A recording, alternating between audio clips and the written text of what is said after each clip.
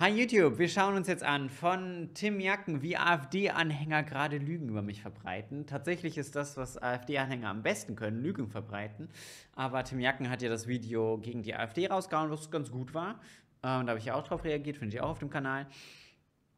Und ansonsten äh, schauen wir uns einfach mal rein, was, was Tim da abbekommt. Das ist so typisch, man, man, man positioniert sich politisch und natürlich bekommt man dann ziemlich viel Mist ab. Und wir schauen jetzt einfach mal rein, was für Mist Tim abbekommt. Schäm dich, Tim Jacken. Perverse, staatspopulistische kleiner Pisser, du einen dummen, verlogenen Bastard. Ich weiß nicht, wie hinter Cash hat's zukommen lassen. Du bist sicher sogar für Propaganda das, das bezahlt. Ich, ja, also ich hab, also ich, ich geb's zu. Leute, ich habe Tim Jacken bezahlt. Damit er dieses Video macht. Es war also die Translobby, Leute. Es war die Translobby. Ja, gab eine Menge Vorwürfe gegen mich seit dem AfD-Video. Und weil ich Real Talk ein paar davon echt lustig fand, gucken wir uns heute mal an, was ich so für Reaktionen auf das Video bekommen habe. Weil da gab es. Ich habe auch darauf reagiert, aber ich war, glaube ich, sehr nett. Echt einige. Aber bevor wir. Und ich finde diesen, also komplett off-topic. Tims Pulli ist super nice. Ich finde ihn richtig schön. Ich würde den auch gerne haben. Also den auch so übergroß. Ich habe keine Ahnung, woher er den hat, aber ich finde den super hübsch. Sorry, hat nichts damit zu tun. Um uns auf die dumme Scheiße schützen, wollte ich erstmal die ganzen positiven Sachen erwähnen. Weil als ich gesehen habe. Leute, lasst doch die Leute mal ein bisschen im Shadowban-Chat. Die Menschen auf dem Discord wollen doch auch was zu lesen haben.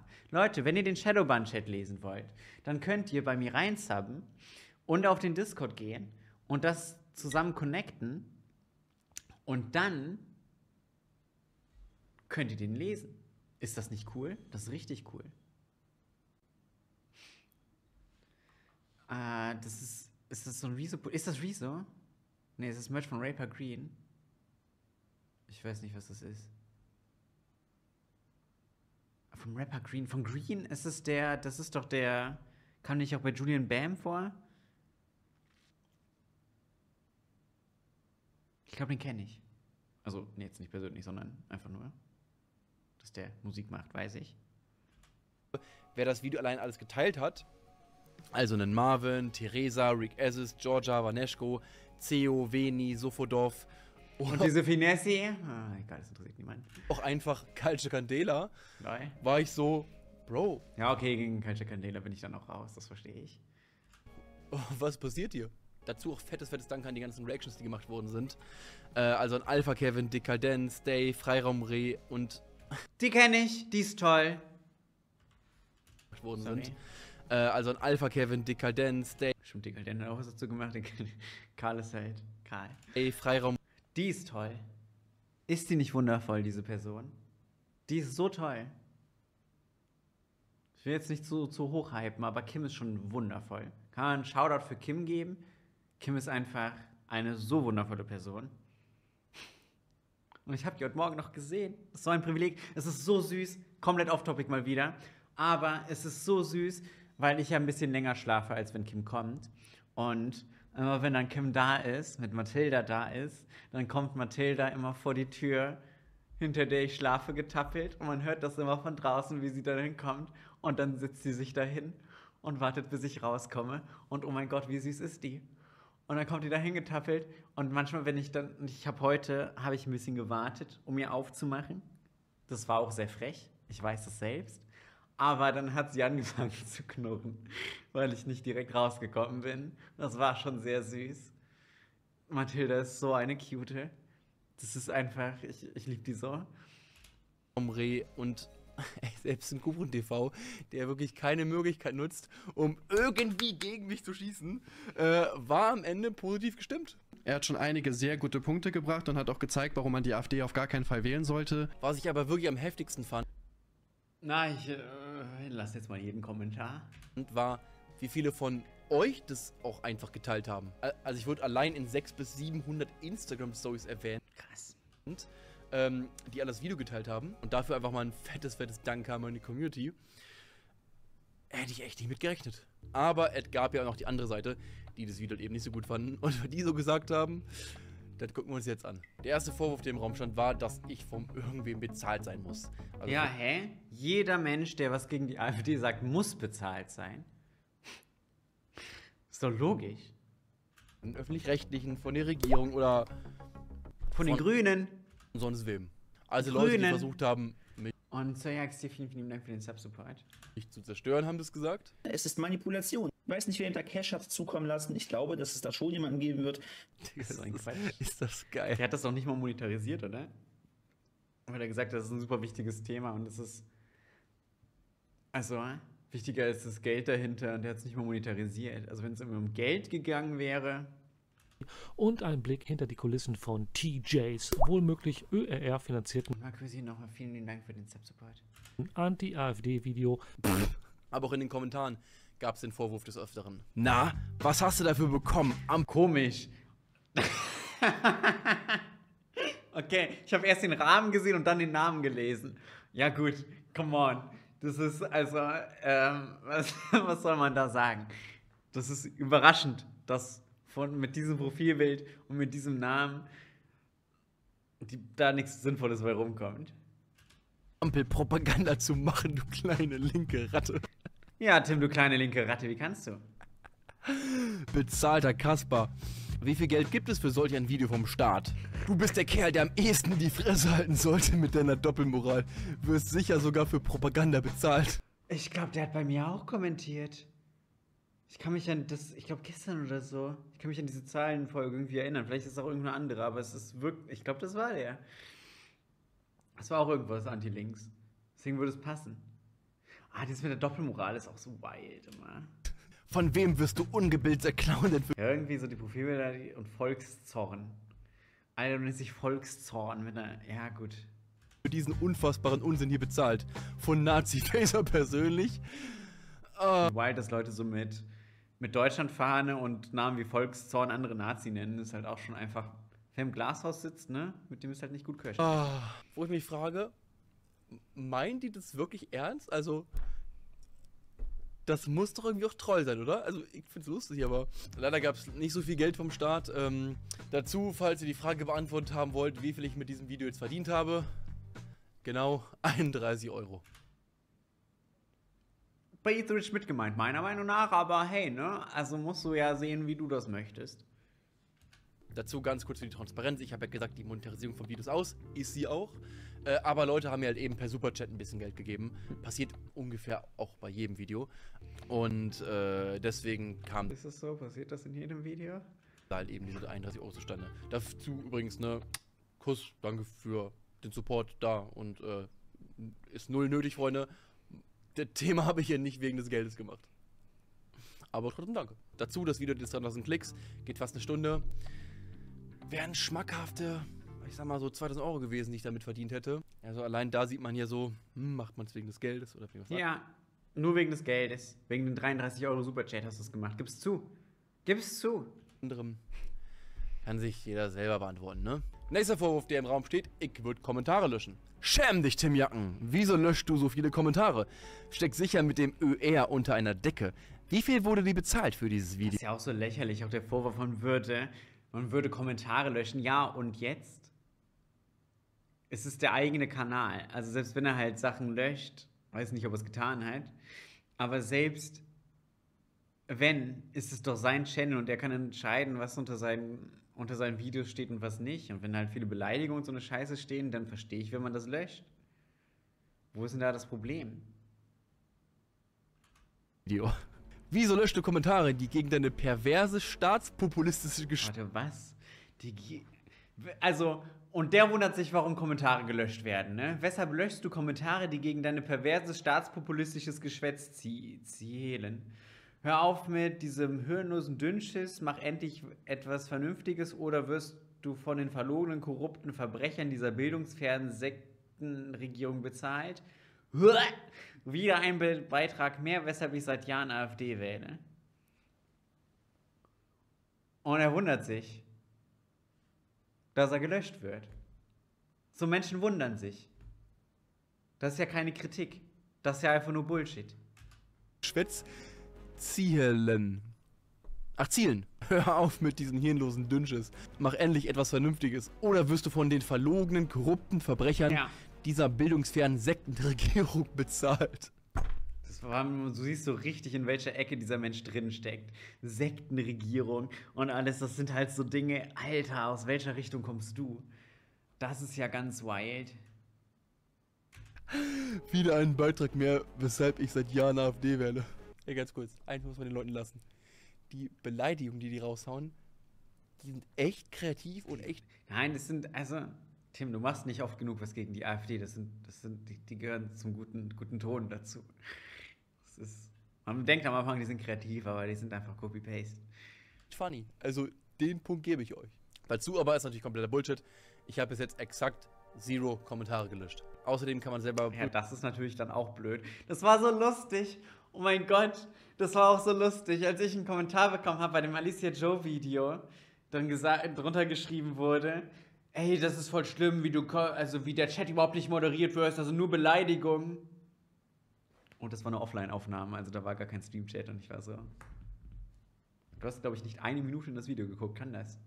Also, es war einfach nichts. So, da, da konnte nicht beleidigt werden, da konnte gar nichts passieren. So, es war einfach nur so ein, ja, aber das ist voll schlimm, der wird rumbeleidigt und nicht moderiert. Ähm. I don't know. So funktioniert das nicht in einem Offline-Aufnahme ohne Stream-Chat. Aber hey, könnte man meinen, dass die einfach nur irgendwelche Vorwürfe machen und copy-pasten, ohne dass es so irgendwie Hand und Fuß hat. Könnte man meinen. Wäre auch richtig. prüfen, ob der eigene Kommentar gelöscht wurde oder nicht. Die Schlauen von euch finden heraus, wie. Wo wir aber gerade bei lustigen Beleidigungen sind, man hat ordentlich versucht, mich zu fronten. Einerseits wieder in Videoform, Geht's dir noch gut? Brauchst du irgendwie Hilfe? Ja? Oder wie sieht's aus mit Pillen? Brauchst du vielleicht Pillen oder so? Keine Ahnung. aber auch in Kommentarform gab es halt wirklich einiges. Und jetzt viel Spaß mit den besten Kommentaren, die ich zu meinem AfD-Video bekommen habe. Oh mein Gott. Ich habe Angst. Was für ein kleiner manipulierter Antifa-Boy. Bitte verschone uns vor solchen kleinen, dummen, verlogenen Bastarden. Es ist schon schlimm genug, die linksgrün versifften Marionetten zu ertragen. Das ist auch so, da, also, ich finde, das zeigt einfach so krass, in was für einer Bubble du dich da bewegst und wie krass abgerutscht du bist, ne? Also, er ist ein kleiner manipulierter Antifa-Boy, das ist ja auch wieder, das geht so in so Verschwörungsmythen-Richtung, auch mit der Manipulation und bla. Und Antifa sollte übrigens, by the way, normal sein. Jeder Mensch sollte antifaschistisch sein und in Aktion treten. Bitte verschone uns vor solchen kleinen, dummen, verlogenen, ja, das ist doch schon schlimm genug, diese linksgrün versifften Marionetten und auch diese Marionetten ist halt Verschwörungsmythen, Mythen-Scheiße. Also es ist einfach, I don't know. AfD ist die beste Partei. Ihr seid wie Hitler dreckiges. Vor allem auch da wieder AfDs beste Partei, ihr seid wie Hitler und man denkt sich so, ja, du hast schon mitbekommen, was Höcke so machen möchte und das ist, also du siehst da keine Parallelen und so, also zwischen denen so gar nicht, so null.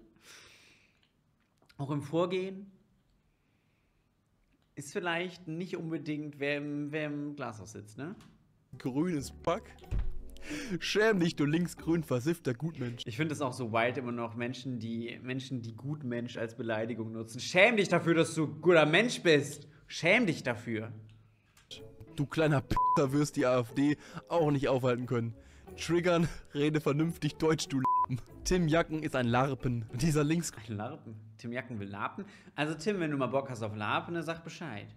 Grün versiffte Kipper. Junge, rauch weniger und versuch zumindest dein nicht vorhandenes Hirn zu nutzen. Bruder, es sind einfach Killer-Kommentare. Kann kann war auch nett. Sympathisch, man kann sich unterhalten, oder? nichts dagegen sagen. Du kommst so oder so nicht auf dein Leben klar. Du bist Ja, geisteskrank. das ist halt auch immer dieses Pathologisieren, ne, wieder von, von Menschen. Auch dieses, ach, ich finde das geisteskrank immer so, auch so ein Wort, wo ich mir denke, so bitte hört doch auf. und zugekippt as fuck. Man hat dir eine Gehirnwäsche verpasst. Du laberst nur die Lügen der Altparteien nach. So ein Quatsch. Auch dieses Altparteiengeschwafel kommt ja auch viel von der AfD und ganz ehrlich, also die CDU ist ja auch eine dann von diesen Altparteien und die quatschen tatsächlich der AfD gerade nach und ich denke mir halt auch so, Leute, vielleicht mal ein bisschen mehr Inhalt und ein bisschen weniger Bullshit. Volksentscheide! Ihr seid ein lächerlicher Haufen und wenn wir als Volk entscheiden dürften, würdet ihr ganzen Minderheiten endlich mal erfahren, was Demokratie bedeutet. Das ist, also, der Satz ist sowas von nicht Demokratie. würdet ihr ganzen Minderheiten endlich mal erkennen, was Demokratie bedeutet, ist halt auch so, ist das eine Drohung? Demokratie ist auch Minderheitenschutz. Bitte verstehe das. Und by the way, das Volk entscheidet übrigens auch mit Wahlen und die AfD ist nicht die Mehrheit. Nur mal so. Ich weiß, das mag jetzt erstmal anders wirken, aber die AfD ist nicht die Mehrheit. Digga, Minderheiten ausgrenzen. Das ist Demokratie. Du gehörst nicht. das ist Demokratie, absolut. Also Minderheiten ausgrenzen und Demokratie sind einfach so. Klapsmühle bei so viel Shit, wie du hier laberst. Digga, es ist, es ist wirklich geil. Dazu ging man natürlich auch noch auf meine Ich glaube, die sind die schweigende Mehrheit. Ich wünschte wirklich, die würden endlich mal schweigen. Langen Haare ein. Ein Langhaarig klärt uns über Politik auf. Kann ja gut werden. Klassiker. Oder auch Tim Jacken, ein Kind will Kindergärtner sein. Der Bengel wird die AfD nicht mal ankratzen.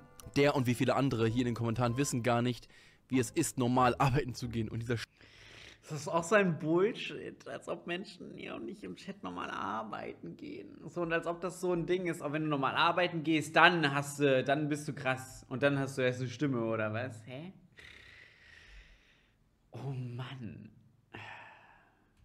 Staat und diesen Staat am Leben zu halten. Von euch kommt nichts als heiße Luft. Dass ich zu jung bin, ist natürlich auch ein Klassiker. Bei dem letzten Kommentar fand ich aber noch den Fakt interessant, ähm, dass ich ja mittlerweile für drei Leute den Lebensunterhalt bezahle. Also drei Leute leben. Also sie noch nie arbeiten gegangen, ja, stimmt. Weil Influen also Content Creation ist auch keine Arbeit, das wissen viele gar nicht. Und äh, ist auch nicht so, als hätte ich schon in verschiedenen Bürobereichen gearbeitet. Ist noch nie passiert. halt mainly von dem Geld, was sie bei mir verdienen. Und deswegen, ja, man kann natürlich als junger Bursche nichts zur Gesellschaft beitragen. Nee, das geht nicht. Wer nicht mindestens 30 Jahre Berufserfahrung hat, der hat keine Meinung. Meine Meinung. Ah, ich habe aber nicht 30 Jahre Berufserfahrung. Shit! Ich habe keine Meinung. Meine Meinung. Verdammt! Das ist auch einfach nicht gut.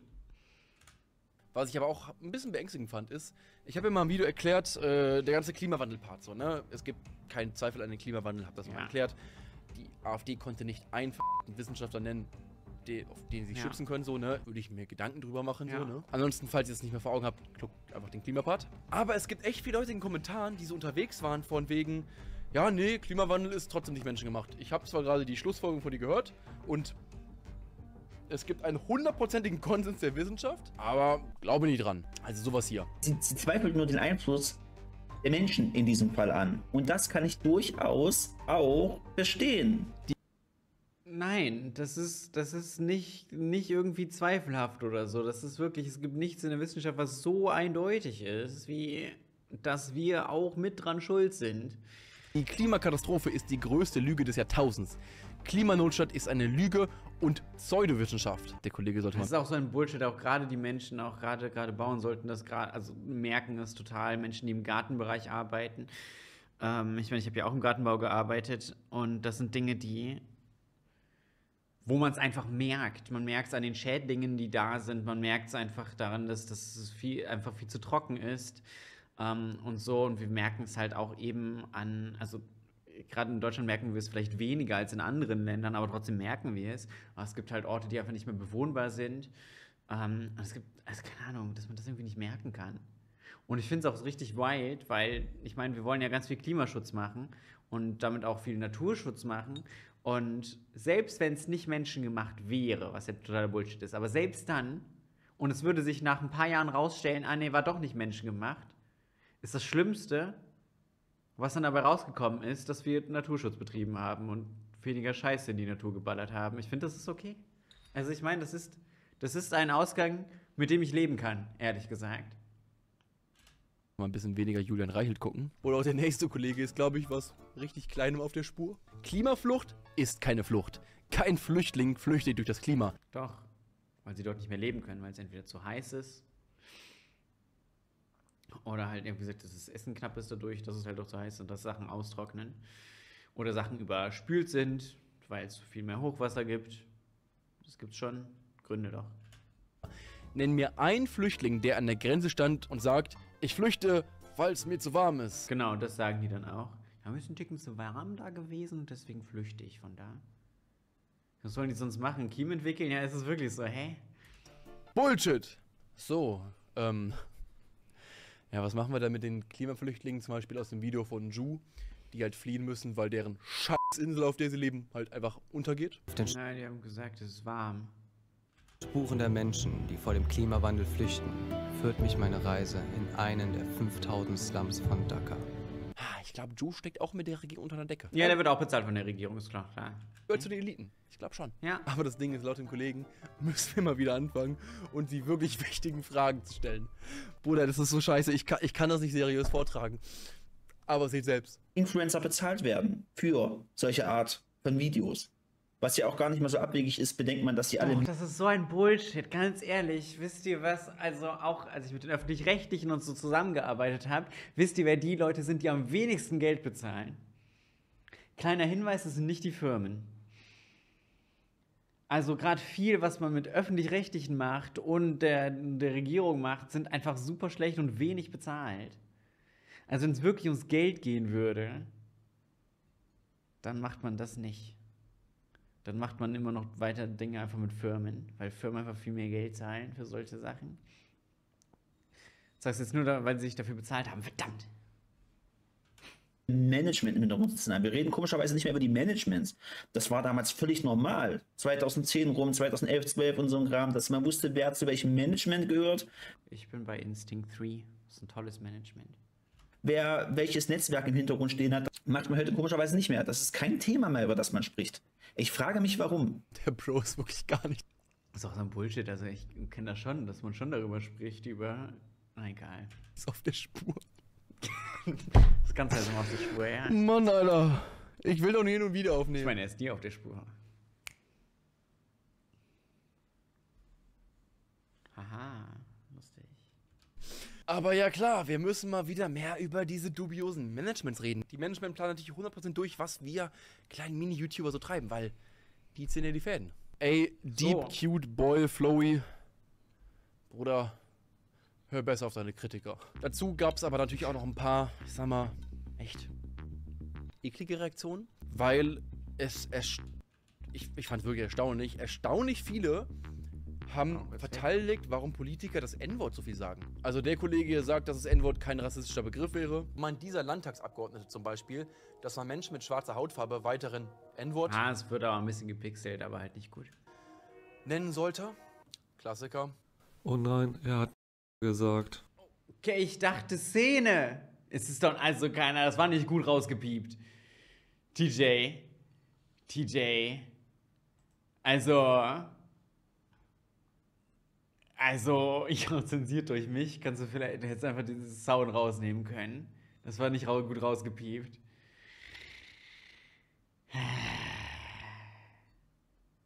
Es war ein Versuch. Muss ich jetzt wieder raus aus der Szene? Ja, ne? Es wird, glaube ich, nochmal eingeblendet. Oder auch schon wieder Deep Cute Boy Flowy. Man auch. Ist natürlich nichts Rassistisches. Das Wort nee Es ist was Rassistisches. Oh mein Gott, gut, dass ich gestoppt habe. Ähm. TJ, pass auf. Was tust du denn?